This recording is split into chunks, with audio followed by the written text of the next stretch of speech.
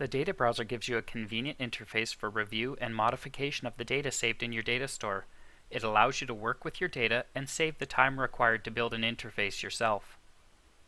We have the server running. To access the data browser, you click the data browser button in the toolbar.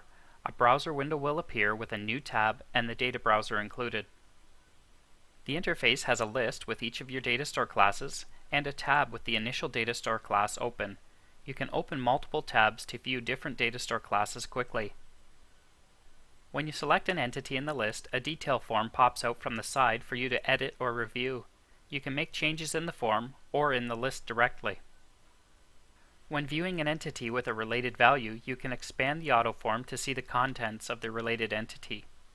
To collapse the detail form, double-click on the splitter bar. Queries are easy to test by entering your arguments in the top query input. We will try name equals t wildcard and click the search icon. The data browser is also a convenient way to check how your model-based permissions affect data access. Click on the login dialog in the top right to change your logged in user.